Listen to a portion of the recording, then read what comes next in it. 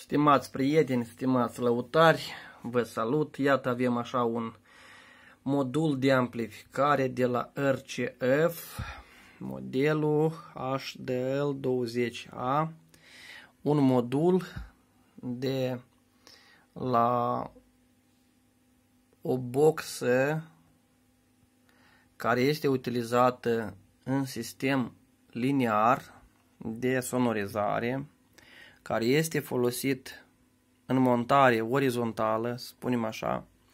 Deci a venit uh, la reparație cu un defect foarte des întâlnit și cred că cei care au așa modele de boxe o să se întâlnească pe parcurs cu acest defect dacă încă nu s-au întâlnit.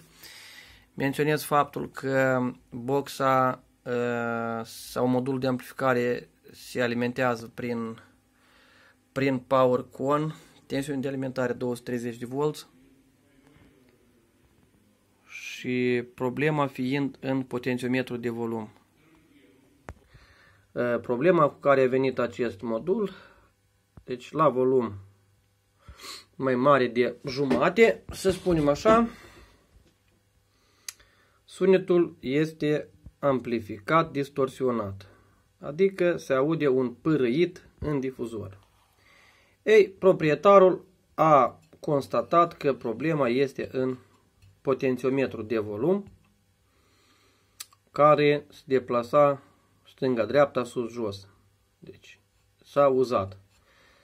Um, boxa nu a fost adusă, adică cutia cu difuzorul, doar modulul de amplificare, fiindcă um, se află la depărtare mare și a, a fost transmis prin intermediul unui prieten. Bine.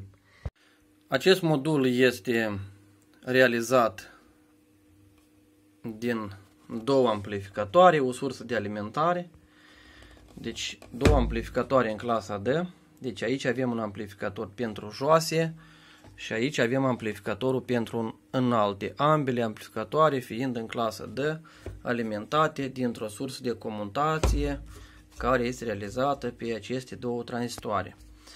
Acest modul este asemănător sau chiar identic cu alte module de la RCF care sunt utilizate și în uh, sateliți, așa, și în unele subwufere. Pentru a vă convinge de ceea ce spun eu că acest modul este utilizat și în alte boxe de la RCF, iată aici am amplificatorul de la RCF ART 715 AMK2 care iată are așa o înfățișare și iată avem partea din spate sau amplificatorul. Deci iată avem aici partea sursei de alimentare, amplificatorul pentru joase și amplificatorul pentru înalte sursa de alimentare în comutație. Deci exact, iată dacă le punem așa alături, deci exact același amplificator, doar că la modelul de la 715 avem aici un DSP, un procesor care dirigează întreg sistemul de semnal și ține de parte de preamplificare și aici un program pe baza căruia funcționează acest procesor. Dar în acest modul aici lipsește o parte din componentele care sunt prezente la acesta. Oricum, pe noi aceasta nu ne interesează, deci aici a rămas partea de putere. Avem aparte separat un amplificator de joase, vis-a-vis -vis avem amplificatorul de înalte. Acest modul este utilizat într-un sistem linear de la RCF. Un modul standard, simpluț, aș spune eu așa, și i s-a adăugat acest circuit de intrare unde avem un șir de posibilități aici apăsând aceste butoane. Iată, aici a fost lipit acel potențiometru care urmează a fi schimbat sau înlocuit cu altul nou. Și ce am vrut eu să vă prezint. Filmulețul va fi foarte scurt, dar ceva interesant.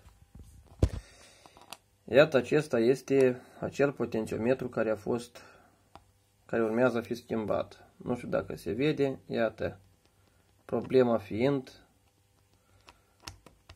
aceasta după cum se vede în imagine. Deci la volum mai mare de jumate, când se formează o presiune anumită în cutia. Acest potențiometru este un potențiometru obișnuit, produs în China, așa, sub denumirea de um, nu se vede chiar bine, dar acum o să citesc Honge, Honge, denumirea de Honge. Deci este o piesă mai puțin calitativă care respectiv are o durată de viață mai scurtă. Și de astea considerente, această piesă a ieșit din funcție. Deci s-a utilizat un material mai puțin calitativ. Exact aceeași problemă ca în filmulețul care l-am prezentat cu modelul de clape Corg PA4 și volumele chineză. Exact și aici. Deci producătorul a economisit și aici un pic din finanță și a montat așa modele de potențiometri de calitate nu chiar bună. Ce voi face eu? Aceeași componentă, cu aceiași parametri, doar că cu o calitate mult mai bună, o să înlocuiesc un alt potențiometru de la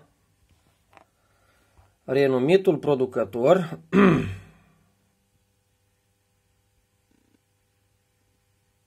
renumitul producător japonez Alps. Exact aceiași parametri, doar că de o calitate mai bună.